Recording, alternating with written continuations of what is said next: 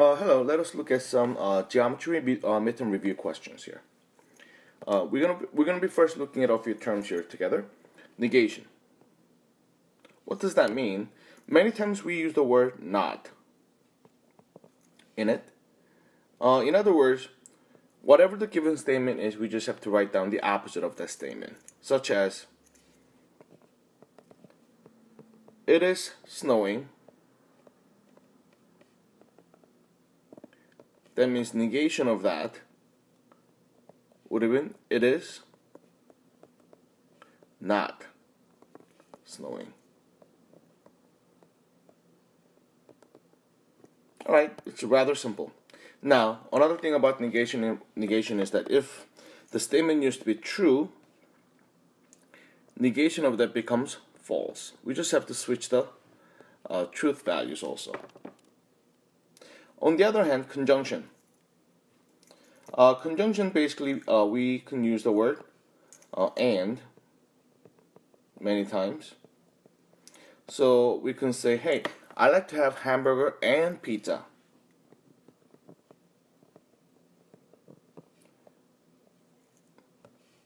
And pizza. You see the word and? In this case, in order for any uh, conjunction to be true, both has to be true.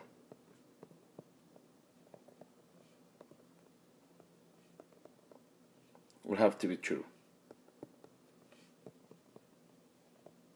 So in other words, when we have uh, true and the symbol for and is the uh, looks like a. True and true will get us true, but all the other stuff will get us false. Now, on the other hand, disjunction. We can use the word or in this case. So I can say, hey, what would you like to have for lunch? And I can say then, uh, hamburger or pizza. Now, in this case, if I get hamburger, I'd be happy. If I get pizza, I'd be happy. And if I get both, I'd be happy. Yes. So, in other words, instead of both has to be true, uh, at least one.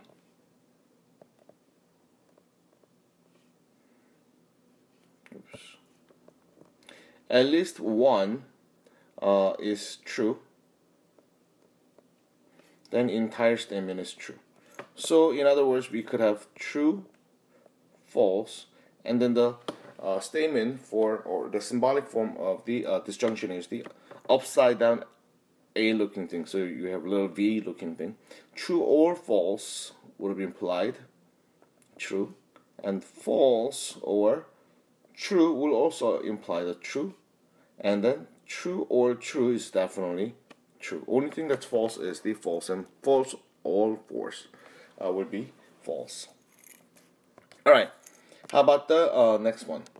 Conditional statement, uh, we many times use the word if and then if something, then something else. The symbolic form of that would have been this. If I have P, then Q. You see the arrow? That's the uh, symbolic form of the um, conditional statement. So now, when do I have conditional statement to be true? Yes, there are a few cases.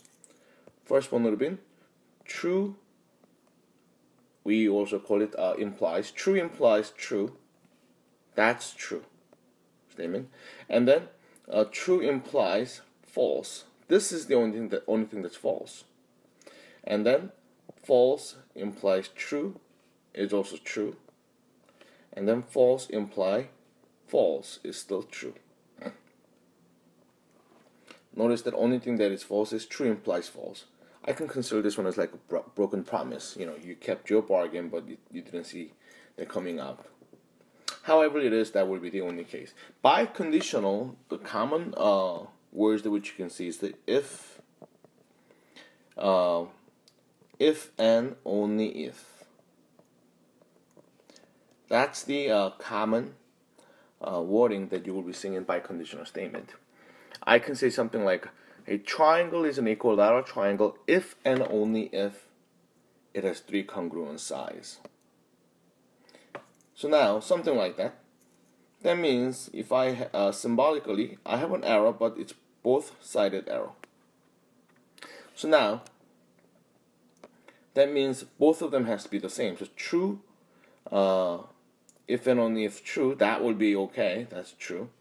False, and if and only only uh, only if false will be still true as long as they're the same. But if they're different, then it's going to be false. Such as true, if and only if false. This would be false, and then false if and only if true will still be false. All right, we're gonna have more uh, practice questions coming up very soon. Converse. What does it mean by converse? Converse is switching, or can I say change, uh, changing the order. In other words, if I have P then Q, it's the converse of this statement. Converse of the statement would have been Q then P. Notice that I switched the order. Inverse is the negate.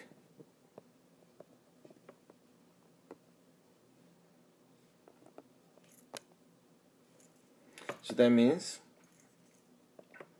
P then Q inverse of that would have been not P implies not Q. So we just put the negation. Now contrapositive is in fact combination of these, the co uh, converse and inverse. So we have P then Q contrapositive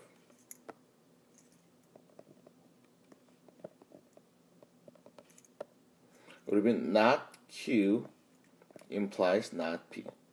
But one thing that I want you to realize is this.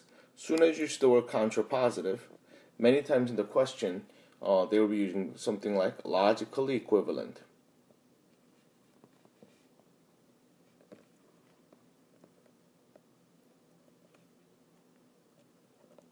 Alright, as soon as you see the word logically equivalent, that means you have to think about the contrapositive. And that's the common uh, equivalent words that which we have to remember. All right, now first one is this then. So if I have, uh, let's look at very simple truth table here. Uh, a and B are already filled. If I have not A, this is basically the um, negation of A. Then as I mentioned before, true becomes false. So you see how I used to have true? Now it becomes false. Now next one, true becomes false and then these two falses becomes true and true. Alright, now uh, A or B, you see this small symbol is or. That means as long as one of them is true, then it's okay. So I want you to look at this one. Ah, both of them are true, so therefore it should be true. In this case, hey, this one is true, so this one should be true. Third, uh, third row, this one is true, so therefore entire statement should be true. The last one, I'm sorry, it's not because there is no truth. So that's how we can do it. Alright, A and B, that means both of them has to be true. That's the only case, which is first one, true and true. All the other things has one at least one false. So this one is true, but the rest of them is all false. A implies B, as I mentioned. Uh, true to true becomes true and true to false. This is the only case where you will see conditional statement to be false. And false to true is true, and false to false is also, also true. Alright, now, biconditional statement, as I mentioned, they have to be the same. So true, true is true. But you see, it's not the same, true and false. So therefore, it's going to be false and false the last one is false and false. Since only because they're the same, we would have gotten true at the end. So these are the basic stuff which we have to realize about the uh, logic. Now let's look at a couple examples here. First question, given the uh, true statement, John is not handsome, and false statement, John is handsome or smart. Now, whoever John is, John is not handsome. Are we saying that that is true? That means you should notice it has not. That when we say John is not handsome, then this must be false. or that means that's a symbol. Now smart. I don't know if the uh, Johnny is actually smart or not, but the thing is, uh, this entire statement is this entire statement is false. How can you have uh, disjunction to be false both when both of them are false? Then the uh, determine the truth value of the statement John is smart. It must be false, as we can see. All right, number two. What is the negation of the statement? Negation is simply, we just have to use the word not here, so we can write it as squares are not parallelograms.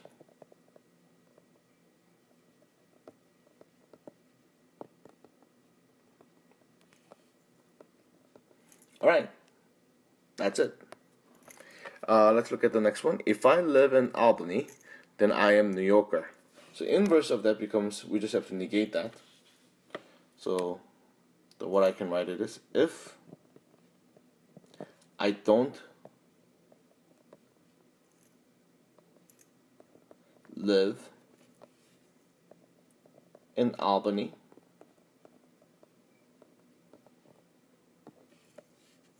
then I am not a New Yorker.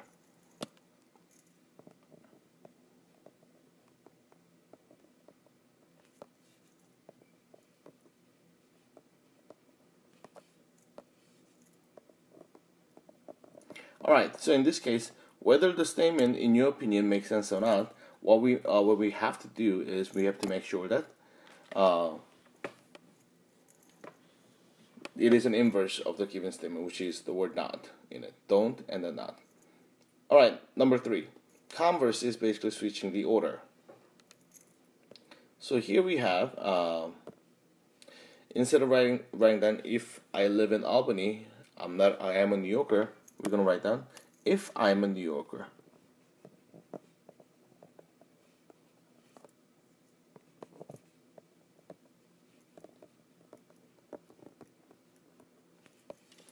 If I'm a New Yorker, you see I switch the order. The one, the one that comes second, I put it into the first. Uh, I live in Albany.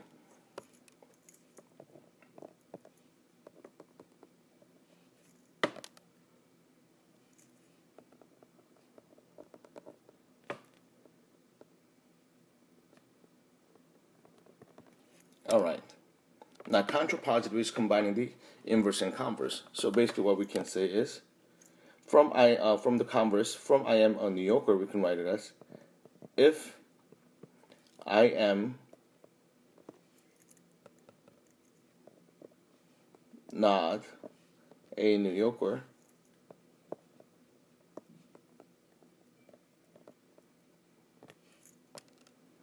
now uh, I don't live in Albany.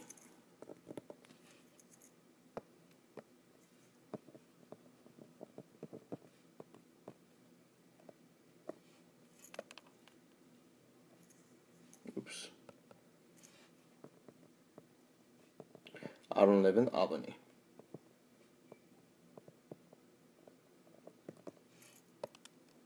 All right, which uh, conditional is logically equivalent. Once again, the word logically equivalent in this case involves the contrapositive. So the contrapositive would be the answer.